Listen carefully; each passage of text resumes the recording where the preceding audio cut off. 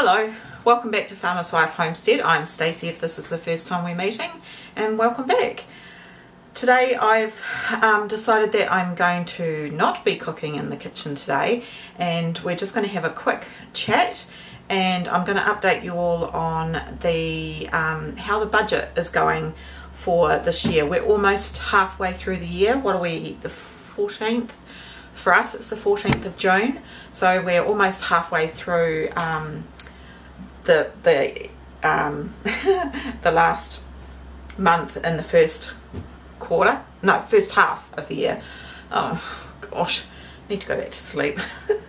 Um, so anyway um, the first three months um, I think I gave an update up till February. So I did an update March April May and um, what we're doing now. So I actually have the um, the budget mum um, pay budget by paycheck the budget mum. I have her um, workbook here so that's what um, I've been filling everything out. So um, there's an expense tracker in case you have not seen this book before and um, for every month. So every month I've been writing down what I've been spending um, where it was spent and obviously how much so I was really vigilant and did the first two months and then, uh, three months actually, and then for April, May and June so far, um, I hadn't written in this book. Um, but I've been saving all my receipts. In fact, I've kept all my receipts for um, whatever I've spent. Um, so it's been so interesting to sit down this morning and see where I'm at. Now I know April, May I had some pretty big spends in both of those months.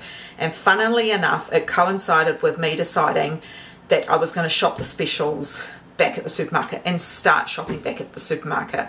And it's funny because I overspend by... But I'm not going to blame the supermarket. It's because I was getting my house ready for my surgery that I had um, mid-May. So I wanted to make sure that I had plenty of meals in the freezer that the family didn't need um, to go and get anything. Husband didn't need to go and do groceries. I had meals and all those sorts of things. And I had to stock up on some bigger ticket items. So um, yeah, April, May were big months. So anyway, right. So in January, I oh, just to recoup, I have challenged myself to only spend $5,000 on groceries and household items this year. Um, just decided that that's what I wanted to do was just try and shop and you know spend as little as possible so anyway um, which I equated to it comes to about $416 a month so I rounded up to 420 um, so that means uh, $105 every week so in January I spent $467.42 so I overspent by $47 and 42 cents. I won't worry about the cents. Um, February I spent 515 so I was over by 95. March I pared it back to try and um, recoup some money so I spent 299.35 so that was under 120 so that's good because it almost offset January February overspends April remembering I'm only supposed to spend 420 to make my goal $975.62. Oh dear. So I was over by $555.62. But as I said, I did a lot of freezer meals um, and a lot of prepping to make sure that I had everything. Because I honestly didn't know how long this meniscus surgery was going to keep me off my feet. And as it turned out, I was mobile. So I probably didn't need to go Berkey and overstock. But what it has done is that means that, you know, like I've got a lot of meals pre-prepped and stuff. And in fact, um, I had a daughter that moved and I've been able to bless her family with a whole heap of um, freezer meals and groceries and stuff and, um, you know, without having to spend money, extra money. So that was April. Hmm. May. $889.48. Now, when you think about it, all of that was spent up until the 17th of May because the second half I didn't I wasn't driving or anything so I was over $469.48 now in those totals were some pet food and I'm not counting pet food in my groceries. So I have taken those totals out, which was $124. So anyway, it came to, look at my figures. 3000 so far I've spent $3,185.67 oh, in June I've spent $162.80 so far. So I'm going to try and have another low spend June. Um, so $3,185.67 is what I've spent so far for this half of the year um, which if you're rounding it out is $530 per month now I was beating myself up and when I look at these figures and I think $530, even though I overspent um, in April, May, $530 for groceries is still pretty good per month. So I, I can't beat myself up about that. Even if I stuck to 530 a month, I'd still only have a grocery budget of 6,360. So yeah, so far I'm over $665.67. So that's about a month and a half really. Whether I'm going to be able to recoup that, I'm not sure. Um, I do have some, oh, hold. So just looking up at my um, writing board, I've, I need flour, so I'm down to my last bucket of flour.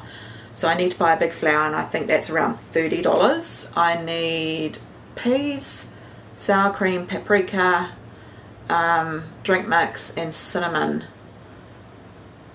other than that, other than fruit and veg, I think we're okay. We do need some bread. So I could just make all the bread, but I do like to have some in the freezer as well. Husband loves homemade bread, but yeah, it's good to have the other stuff um, because it'd be nice to do some more toasted sandwiches. Um, so yeah, those are the things that I need to get. So that's not gonna, that's maybe gonna cost me about a hundred dollars. So that's not too bad. Um, I'm still gonna see if I can continue on the journey. I want to try and get as close to $5,000 as I can, just for my own benefit. Um, and I started writing about it back in January and February, and I really wish that I was more diligent and I'd kept writing and and just you know um, giving my day-to-day thoughts so I'm a bit miffed with myself that I didn't do that. What I'm also going to do is some stage during this week is I'm going to sit down and I'm going to go through all my receipts and I'm going to categorize what I spent on fruit and veg what I spent on household items what I spent on like um, dairy baking and I'm going to really niche it down because I don't know, that just really excites me to actually look into it. And what I can say is that I honestly think, even though I've I've made this little challenge up for myself, it's really helped me try and not spend as much as possible. It's made me think outside the square. It's made me use what I've got. And you know what? Probably for the next six months, we could easily live off, you know, the freezers and all the rest. And for want of just a few things, we'd be okay. So I think that's a pretty good, pretty good effort. Um, my veggie garden, just looking out the window here, it's it's all died back for the winter, which is good. It means that I have got a fresh canvas to start with, and my son is going to help me build some raised beds. Now, when I say raised beds, I'm not talking about really deep raised beds. I just want, like, say, one board width. So they're not raised raised beds, but they're going to be contained so that I could um, put wood chips down the rest of the garden so that it can be controlled a lot better. So I'm really looking forward to doing that and of course I will film that. I've got to get my garlic in shortly so hopefully if it finds up we'll plant some garlic together um, and I've lifted some of my dahlias and I'm just starting to think about the spring garden and I'm actually going to sow some onion seeds as well because I used to buy them in bulk and I just can't get them in bulk anymore so I'm going to grow my own. Um, I'm really interested to see what I'm spending on fruit and veg um, every every year and seeing if this this year I can look at you know the breakdown of it and and say okay well I bought this this many kilos of onions. Okay, so I need to produce this many kilos. Um, yeah, I just, I love, love thinking about that sort of stuff and writing it all down. And I've brought myself a little notebook and anyway. So another couple of things before we go is I would love some help. Love some help. We have such an amazing community here and I value each and every one of you and I try and read every single comment. Some may slip through but um, even if I, I can't reply, which obviously I can't because I literally get a lot, um, I still try and read them. And I know a lot of you read the comments as well. So what I also wanted to do um, in regards to this video is I want every, well, as many as you as possible to write a comment and I want you to use, tell us your number one tip saving idea that you have implemented to try and save money.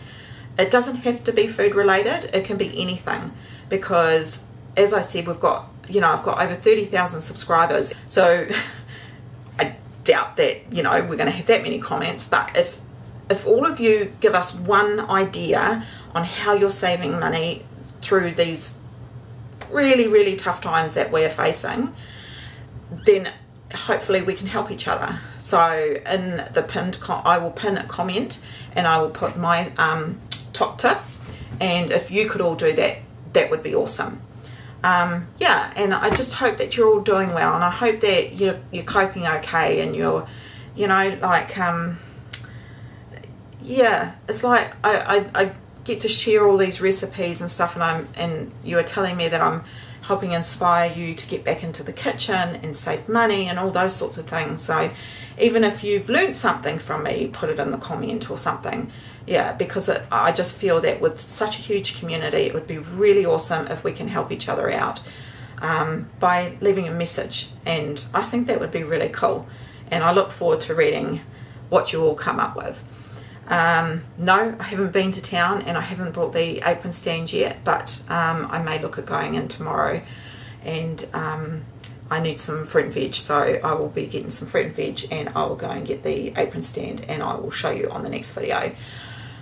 Um, one last thing before we leave, if you've made it all the way to the end of this, is I would also love for you to let me know what some future videos you would like to see. I've still got some in mind, of course.